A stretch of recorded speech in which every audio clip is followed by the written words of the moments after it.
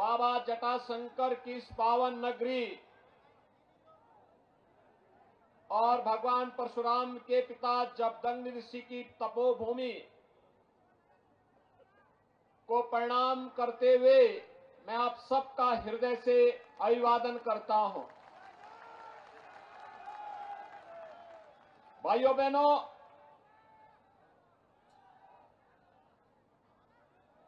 मैं उत्तर प्रदेश की धरती से आया हूँ।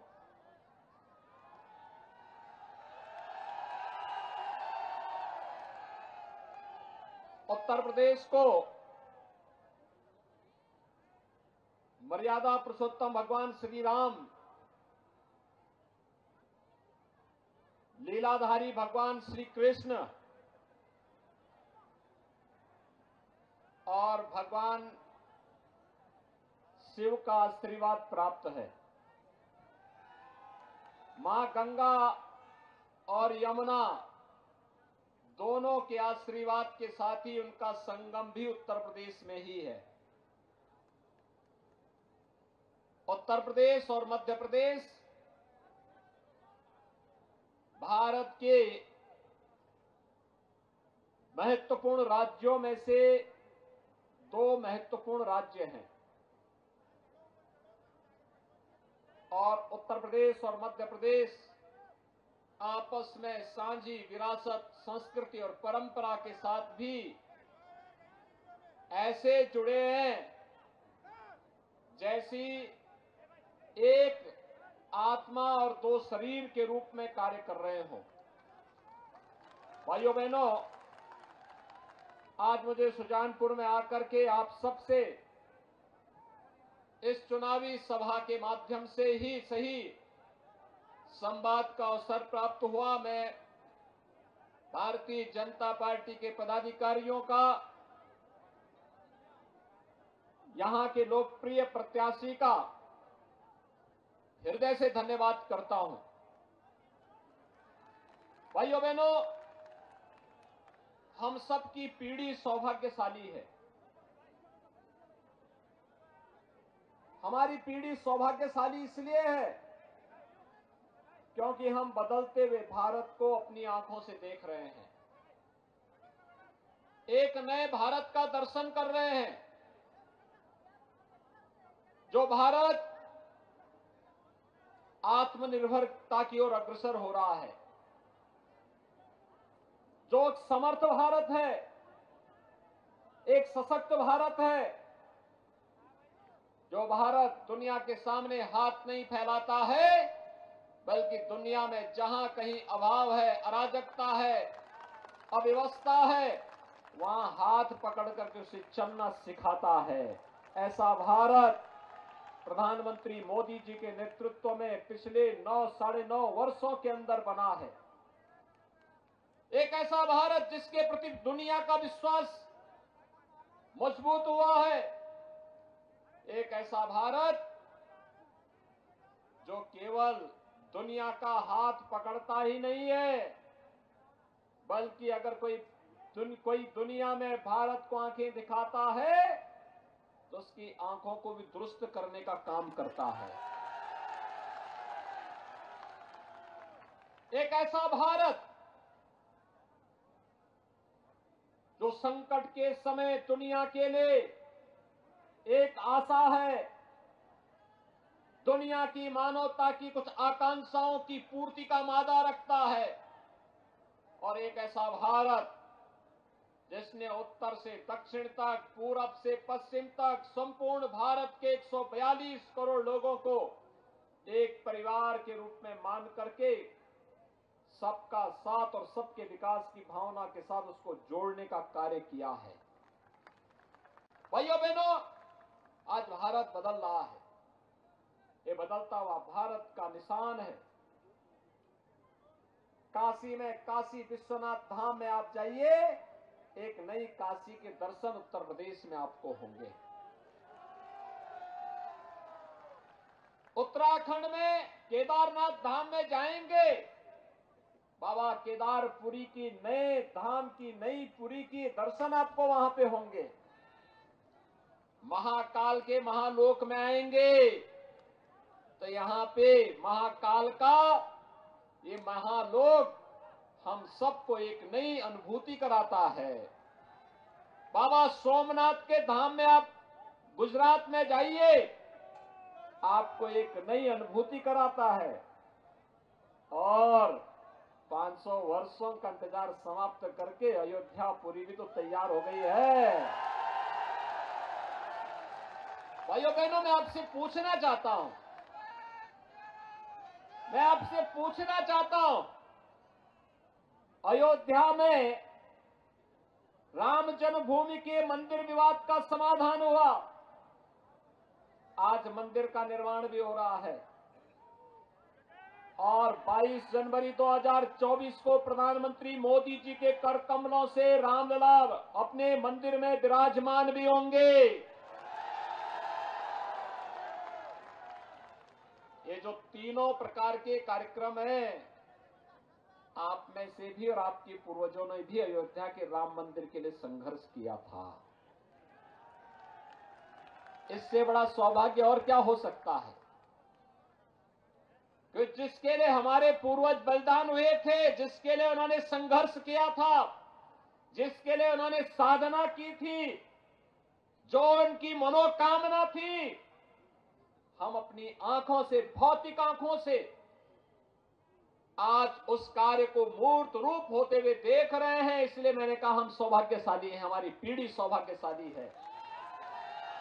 लेकिन भाइयों, बहनों, मैं आपसे पूछना चाहता हूँ, अयोध्या में राम मंदिर का काम क्या कांग्रेस कर पाती? कांग्रेस तो चाहती ही नहीं थी, क्योंकि कांग्रेस का नाम ही समस्या है। कांग्रेस ही नहीं थी, समस्या का समाधान हो। कांग्रेस ने तो कह दिया था कि नहीं, कोई परिवर्तन नहीं होना चाहिए। और तो राम भक्तों ने कहा कि गुलामी के ढांचे को हटा देंगे, न रहेगा बाँस, नहीं बजेगी बांसुरी। भाइयों बहनों, कांग्रेस ने देश को समस्याएँ दी है।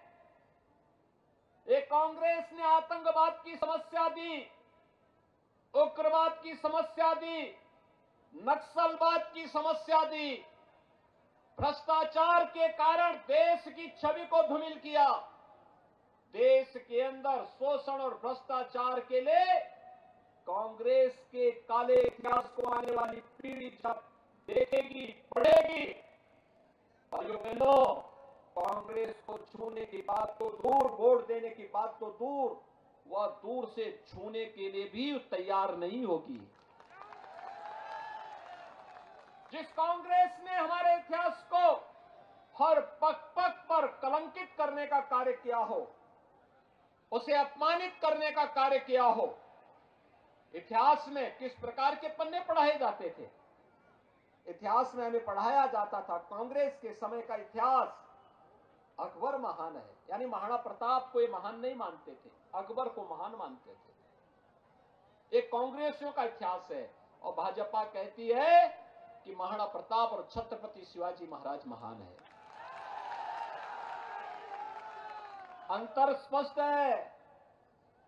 एक और गुलामी की निगाहों से पूरे देश को देखने वाली कांग्रेस देश को पुनः गुलामी की ओर धकेलने का कुत्सित प्रयास कर रही थी। दूसरी तरफ़, अपने राष्ट्रीय स्वाभिमान और सम्मान के लिए जानी जाने वाली भारतीय जनता पार्टी। जो राम और कृष्ण की परंपरा पर भी श्रद्धाभाव रखती है महाराणा प्रताप और छत्रपति शिवाजी महाराज की परंपरा पर भी गौरव की अनुभूति करती है। राजा भोज की परंपरा पर भी गौरव की अनुभूति करके आगे बढ़ने का कार्य करती है। ये है भारतीय जनता पार्टी। भाइयों बहनों, कांग्रेस ने तो राम और कृष्ण के अस्तित्व को भी नकार दिया था। उन्होंने राम और कृष्ण के अस्तित्व को कहा, ये सब तो मिथक है, ये हुए ही नहीं। यानी उनके लिए भारत का इतिहास केवल पंडित जवाहरलाल नेहरू से प्रारंभ होता है। और उनके लिए सबसे पवित्र ग्रंथ वही माना जाता है।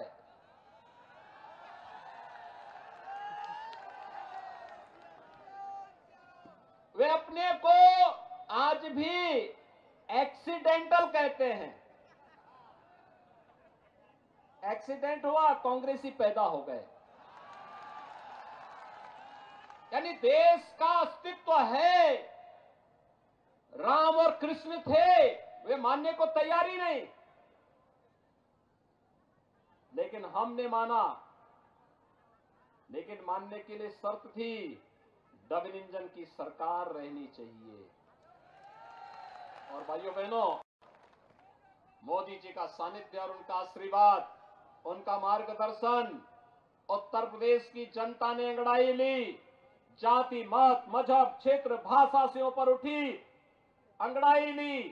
भारतीय जनता पार्टी की सरकार उत्तर प्रदेश में आई। 500 वर्षों का विवाद का समाधान हो गया। अयोध्या में राम मंदिर के निर्माण का मार्ग प्रशस्त हो गया। और अब तो 22 जनवरी को 22 जनवरी को रामलला अपने स्वयं के भव्य मंदिर में विराजमान हो जाएँगे। हर भारतवासी दुनिया में जहाँ कहीं रह रहा होगा, हर सनातन धर्मावलंबी गौरव के साथ कह पाएगा कि रामलला हम आए हैं और मंदिर में आपको विराजमान देख रहे देख करके गौरव की अनुभूति कर रहे हैं। भाइयों बहनों, और यह हर भारतवासी के लिए गौरव की अनुभूति वाला दिन होना चाहिए। मध्य प्रदेश में पिछले 20 वर्षों में जितना परिवर्तन किया है।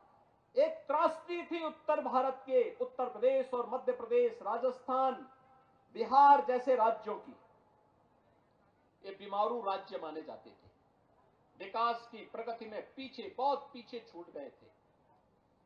मैं धन्यवाद दूँगा यहाँ के लोकप्रिय मुख्यमंत्री श्री शिवराज सिंह चौहान जी को, जिनके नेतृत्व में मध्य प्रदेश बीमारू प्रदेश से उभरा है। ये बीमारूपन के कलंक से मध्य प्रदेश उभरा है, उत्तर प्रदेश भी आज बीमारू राज्य से उभर उभर उभर चुका है।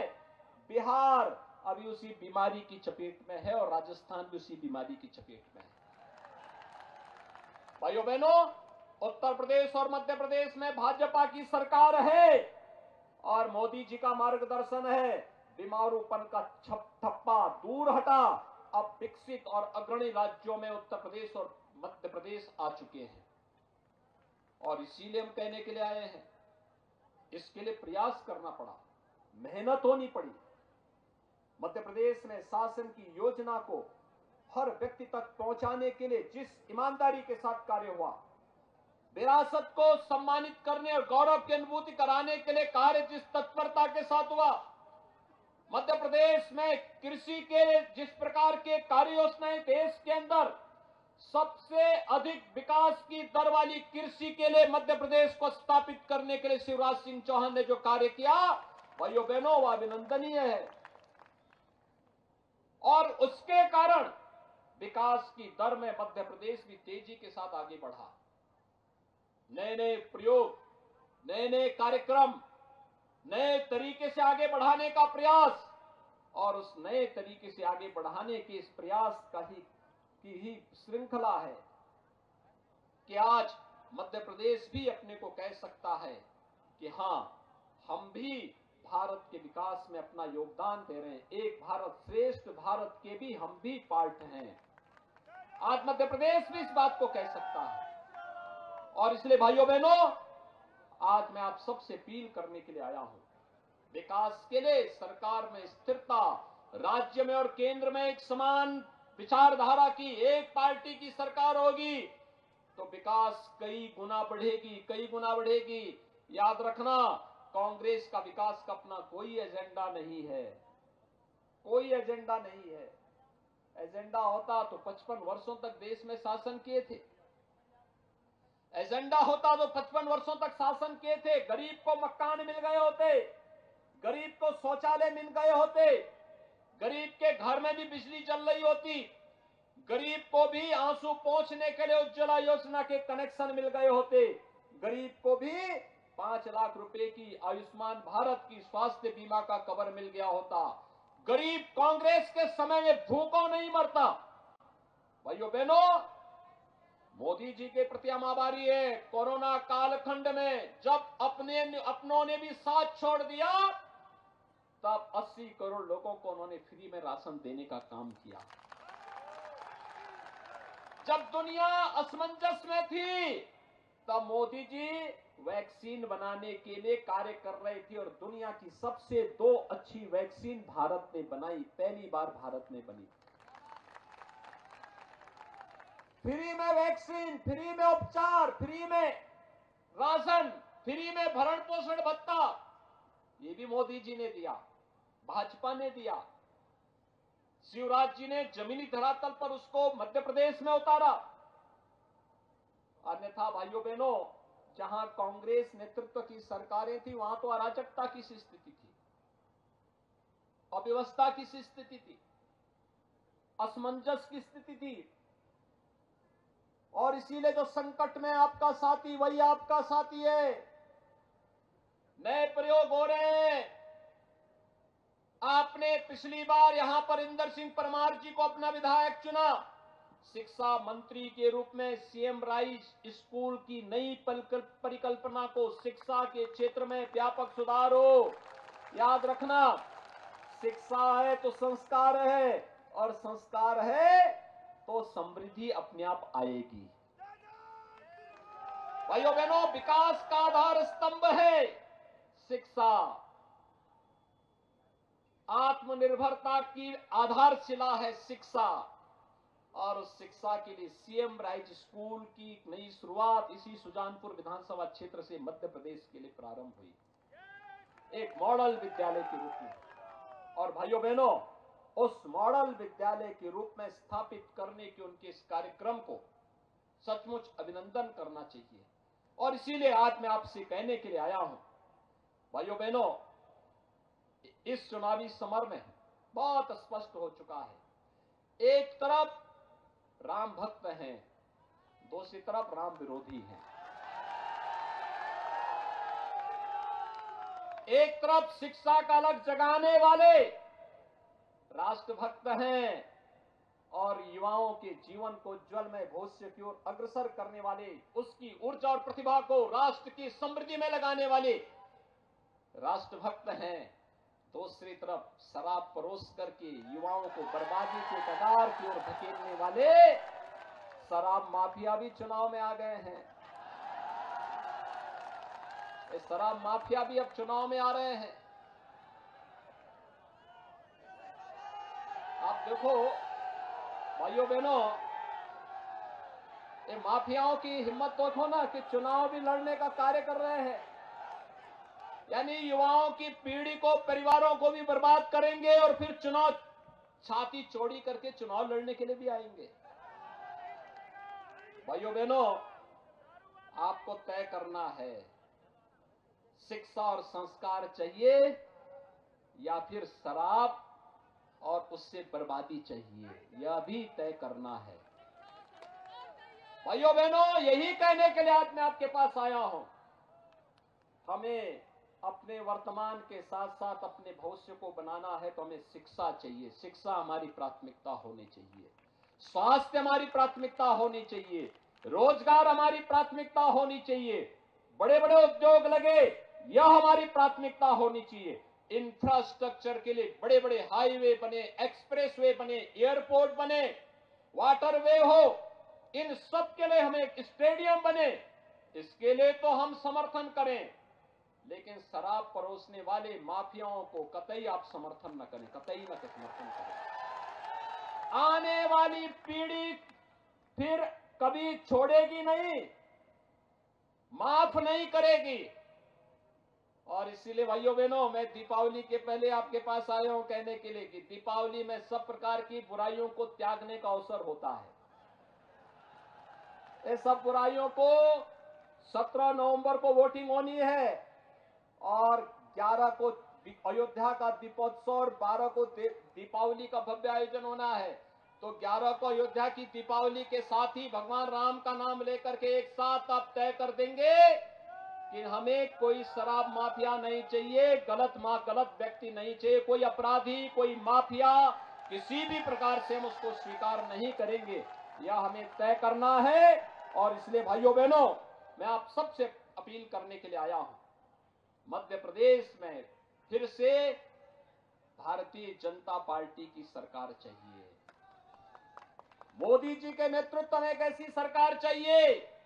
याद रखना, मध्य प्रदेश में डबल इंजन की जो भारतीय जनता पार्टी की सरकार है, इस सरकार में गुंडे, अपराधी, माफिया, आतंकवादी, उग्रवादी, नक्सलवादी ये सभी त्रस्त हैं, परेशान होंगे, भागेंगे। और चुनाव के समय सभी एकजुट होकर के फिर कार्य करने का प्रयास करेंगे। और हमारा प्रयास होना चाहिए कि डबल इंजन की सरकार फिर से आए। डबल इंजन की सरकार का क्या परिणाम होगा और कैसे डबल इंजन सरकार ने अपने कार्यक्रमों को आगे बढ़ाया है।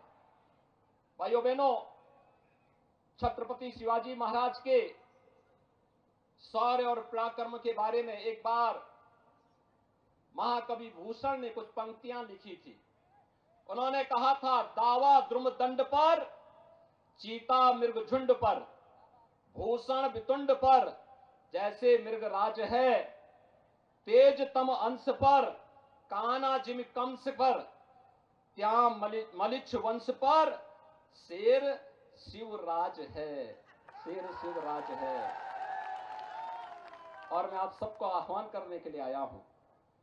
यानी इसका अर्थ है, जिस प्रकार पेड़ों के तनों पर दावानल हिरणों के झुंड पर चीता, हाथी पर शेर, अंधेरे पर प्रकाश की एक किरण, कंस पर कृष्ण भारी है, उसी प्रकार मलेच्छ वंश पर शिवराज शेर के समान भारी हैं। और इसलिए भाइयों, बहनों मैं आप सबका आह्वान करने के लिए आया हूँ।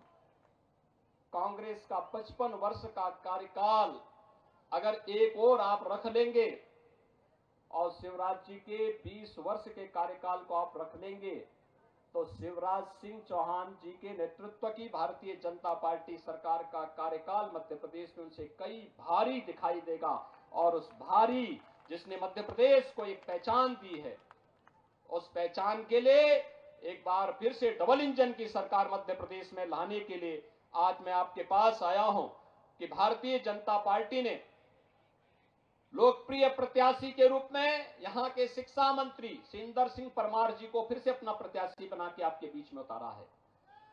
परमार जी को अपना आशीर्वाद देंगे। सभी लोग सहमत हैं? सभी लोग सहमत हैं? तो दोनों हाथ ला करके मेरे साथ बोलेंगे, दोनों हाथ ला करके बोलेंगे। भारत माता की।